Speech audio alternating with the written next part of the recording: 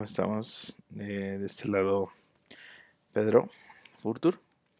Vamos a, bueno, voy a hacer un pequeño video tutorial de cómo eh, desarrollar para aplicaciones móviles con el framework de Titanium Accelerator, ¿no? ¿Qué es lo que vamos a necesitar para empezar a desarrollar nuestras aplicaciones con este framework? Eh, bien, déjenme ver por aquí, vamos a cerrar esto.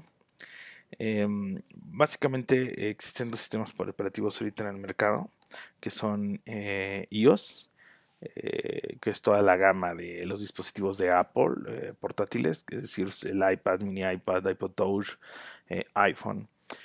Y por el otro lado tenemos a Android con una gran gama de dispositivos también, aunque tiene muy, muy fragmentado el mercado, ¿no? entre los más representativos posiblemente tenemos toda la gama de Xperias, eh, y eh, también el conocido eh, Samsung S3, ¿no? muchos, muchos dispositivos de Android, hay una gran variedad infinita. Bien.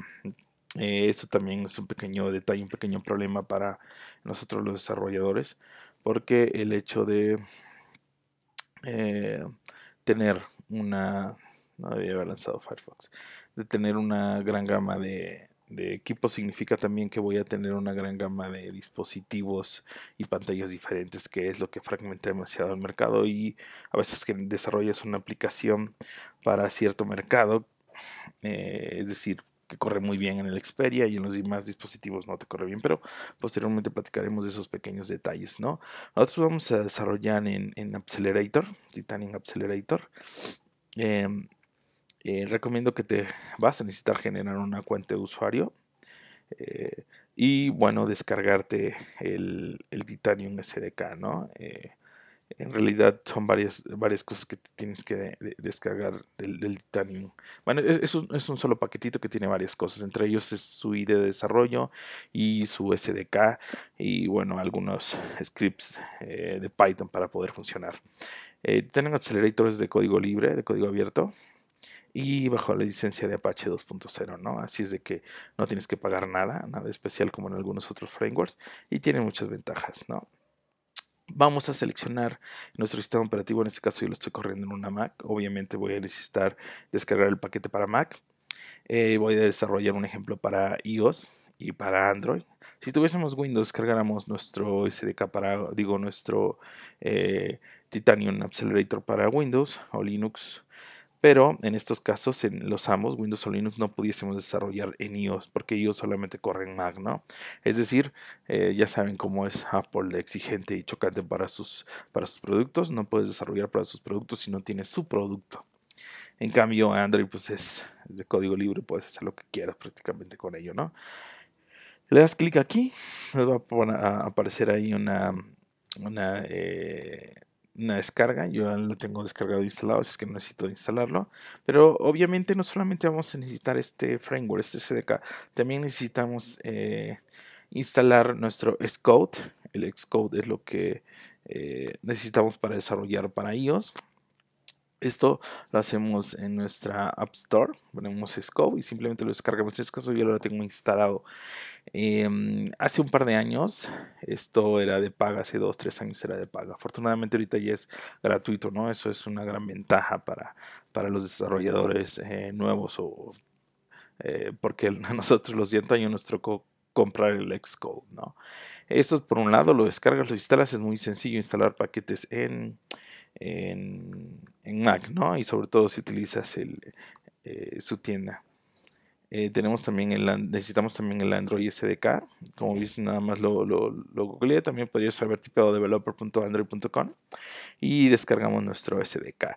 En este caso, yo ya tengo mi SDK también instalado. Y eh, a diferencia de nuestro paquetito de Xcode que se instala directamente sobre nuestra carpeta de instalaciones, digo de aplicaciones, en el caso de eh, el SDK de Android, pues se va a generar una carpeta posiblemente en descarga. Nosotros lo movemos donde queramos, ¿no? Eh, bien, ahora ya que tenemos nuestro SDK eh, de Android, nuestro Xcode para iOS y nuestro Titanium Accelerator instalado, pues simplemente lo ejecutamos, nos va a pedir que le demos dirección a nuestro scope, nos va a pedir nuestro nombre, usuario y contraseña, por ello les dije que sería bueno que se dieran de alta aquí en, eh, como usuarios dentro de, eh, de Titanium Accelerator, ¿no? Obviamente aquí ustedes van a poder eh, eh, dar de alta varias, varias cosas, ¿no? Como dar de alta tu perfil, eh, si eres, si tienes una licencia, perdón, si eres certificado, si has, si has posteado algunos foros, bla, bla, bla, bla, bla, ¿no? Bien, ahorita ya corrió nuestro nuestro SDK. Vamos a eliminar aquí un, es que hace rato se había grabado el video y lo grabé sin audio, ¿no? Eh, bien, eh, la primera vez que lo corremos, podemos seleccionar Get Started. Automáticamente iOS debe de estar eh, detectado, ¿no? En el caso de Android vamos a tener que seleccionar por aquí una carpeta para que, nos, que nos abra un browser para encontrar nuestro SDK y le damos nuestra dirección, ¿no? En el caso de que eh, ya lo tengamos, ya hayamos hecha configuración, pues ya nos va a aparecer habilitado como me aparece en este caso. Bien, vamos a generar un nuevo proyecto, ¿no? Eh, vamos a generar un nuevo proyecto, eh, Titanium Project. Como pueden ver, este IDE de desarrollo es muy parecido a, Eclipse. ¿Por qué es parecido a Eclipse? Porque está basado en él, de hecho, ¿no? Al inicio, cuando empezó hace un par de años, tres años, el Titanium Accelerator no tenía un IDE de desarrollo y recomendaban utilizar Aptana, el cual estaba basado en Eclipse. Entonces, eh, por ahí Titanium Accelerator, los chicos de Accelerator compraron Aptana y eh, lo convirtieron en el eh, IDE de Titanium, ¿no? que es Titanium Studio, esto que tenemos aquí corriendo. Bien, seleccionamos algún proyecto, en este caso vamos a, vamos a instalar el clásico eh, Titanium Classic, bueno, cualquiera de los dos, y seleccionamos un Simple Windows Application. De todas maneras no nos interesa porque vamos a limpiar un código. Bien, empezamos dándole un nombre a nuestra aplicación, en este caso es 00. Vamos a ponerle un App ID, tiene que ser único. Eh, recomiendan mucho utilizar eh, así como se hace en, en, Java, ¿no? Empezamos por el con, la compañía y el nombre de la aplicación. Ahora, eh, eh, también si tenemos algo aquí, pues ponemos poner nuestra, la, página de la compañía o nuestra página eh, principal, ¿no? Bien, abajo tenemos el SDK. seguramente solamente va a aparecer uno, el último, el más reciente, tal vez uno más reciente el que yo tengo, pero puedes descargar anteriores porque, y es muy recomendable tener SDK anteriores cuando necesitas alguna modificación, actualizar tu proyecto, a veces tienes que hacer el count de, del SDK, ¿no? Pero bueno, eso lo, veremos más, más, adelante. Aquí abajo, eh, sobre qué vamos a desarrollar, como pueden ver aquí me aparece BlackBerry, un poquito de maneras este, con marca de agua. Eh, porque eh, está actualmente el beta de BlackBerry. De hecho, si vas a Developer BlackBerry, en su portal, vas a ver que tienen a ti tienen Accelerator como partners. Eso significa que dentro de unos cuantos meses vamos a poder desarrollar no solamente para Android, no solamente para ellos, sino también para BlackBerry. En este caso voy a desactivar el iPad. Vamos a desarrollar para ellos y también vamos a decir que sea una móvil web, ¿no? Eh, también tienen, eh, eh Accelerator tiene ahorita el alfa para Windows Phone. Entonces, eso quiere decir que dentro de pocos meses vamos a ver iPhone, Android, eh, Windows Phone y BlackBerry, ¿no? Y ojo, porque están por salir, eh, para cuando estoy grabando es cuestión de días que salgan los nuevos dispositivos con Firefox OS, ¿no? Este sistema operativo, todas sus aplicaciones van a correr en HTML5. ¿Qué significa eso? Pues que prácticamente como van a ser eh, mobile web, eh, va a estar aquí casi casi en el momento que ya se libere el sistema operativo ya va a estar por acá el, eh, eh, podemos seleccionar también que compilemos para ese dispositivo no aquí abajo tenemos algo de cloud services que nos maneja Titanium Accelerator. Vamos a darle en este caso desactivar. Luego veremos las opciones que tiene Titanium Accelerator muy buenas pero en este caso lo desactivamos no y tenemos estas desactivadas.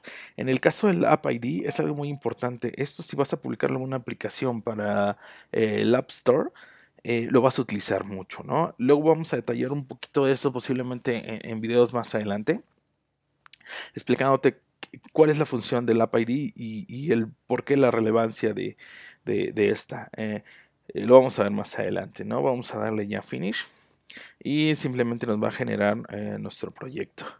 Ahora, aquí tenemos nuestro proyecto. Vamos a cerrar esto de acá, vamos a cerrar esto de acá y se nos van a generar varias carpetitas.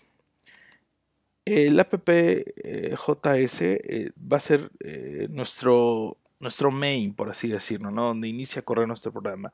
Dentro podemos generar carpetas que llamen a otros archivos donde hayamos tirado algo de código, pero en este caso solamente vamos, vamos a hacer un, hola mundo.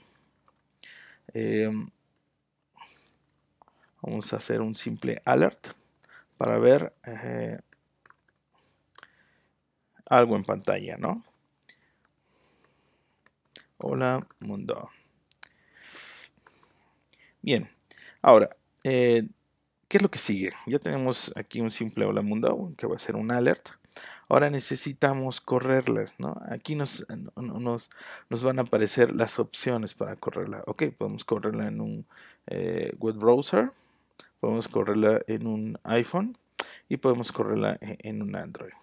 Bien, aquí nos está apareciendo y aquí nos lo corrió en nuestra en una página web, ¿no? Que lo que tenemos aquí es un Hola Mundo. Ahora debe de estarse corriendo el simulador, ya lo lanzó el simulador de iOS. Y ahora vamos a correr el de Android. Esta parte que voy a hacer en particular no tienen que hacerlo ustedes. Esto eh, en realidad yo cometí un, errorcillo, garrafal por cierto, en las configuraciones de, eh, de mi dispositivo de, Android y eh, seguramente me va a estar cargando un sistema, un, emulador con una versión nueva y me causa conflictos. Así es de que, ah, no, sí le está cargando en la versión 2.2, ¿no? Eh, nosotros podemos bajar varias versiones de, de Android eh, si quieres trabajar con Froyo, con Jelly Bean, bla, bla, bla, bla, Honeycomb, es, puedes hacerlo directamente desde, eh, desde tu SDK de, Android. Eh, seleccionas qué, versión quieres emular y descargas lo necesario, ¿no? Y desde acá, desde tu Run Configuration, puedes seleccionar bajo qué sistema operativo va, va a correr el emulador, ¿no? Ok, ya lo lanzó, ahorita estamos corriendo la versión 2.2 tenemos corriendo aquí un emulador, aquí un simulador. Ojo, en el caso de Android eh, es un poquito complicado este, eh, desarrollar para Android porque tarda mucho el emulador, ¿no? ¿Por qué tarda tanto? Porque en realidad tenemos todo, todo un Android corriendo con todas sus, características, todos sus features. En cambio, en el iPhone es simplemente un simulador. Por ello la diferencia. En, un eh, emulador de Android pues tenemos todas las características que prácticamente es, tenemos toda una máquina instalada. Bien, acaba de correr nuestro, nuestro Android y nos lanzó nuestro Hola Mundo, ¿no? Bien, eh, como pueden ver, tenemos ya en tres plataformas diferentes eh, con un mismo código, bueno, en este caso fueron simplemente tres líneas, pero eh, podemos correr y compilar para tres plataformas diferentes. ahora, vamos a ver en nuestro WordPage, vamos a buscar nuestro proyecto T00 y algo muy característico es una carpeta llamada Build. Entramos a la carpeta Build y vemos que hay tres carpetas, exactamente eh, las que seleccionamos a la hora de, crear nuestro proyecto. ¿Qué es lo que pasa? ¿Qué es lo que hace Titanium Accelerator? Titanium eh, trabaja con sus propias APIs, eh, tomando como base, como base JavaScript. Y trabaja con estas APIs. Cuando nosotros le ponemos compilar, el SDK eh, de Titanium lo que hace es traducir todas estas APIs a las APIs nativas de los sistemas operativos. Es decir, en realidad no estamos eh, corriendo aquí una aplicación híbrida como algunos frameworks eh, te lo manejan. Estamos corriendo aplicaciones nativas. si abrimos Android, Aquí tenemos, por ejemplo, el Android eh, Manifest, ¿no? Y todo lo necesario para que se, eh, se, corriera este proyecto. De la misma manera aquí en, en, el iPhone. Tenemos eh, nuestro proyecto Nextcode. De hecho, podemos lanzarlo y hacer algunas modificaciones si queremos. De la misma manera, vamos a tener nuestro móvil web, ¿no? Em, ahora, a partir de este punto, que quede claro es que tú, aunque estás eh, desarrollando con Titanium Accelerator, con JavaScript, al final tienes una aplicación nativa.